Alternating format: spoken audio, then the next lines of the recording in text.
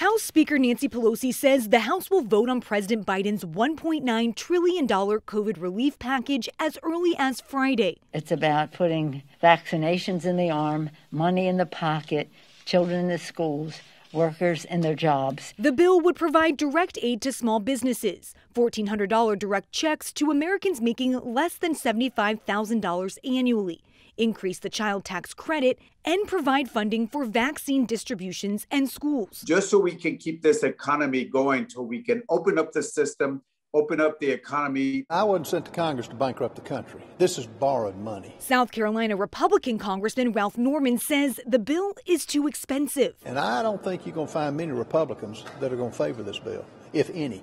Still, House Speaker Nancy Pelosi says the bill has enough Democratic support to pass before moving on to the Senate.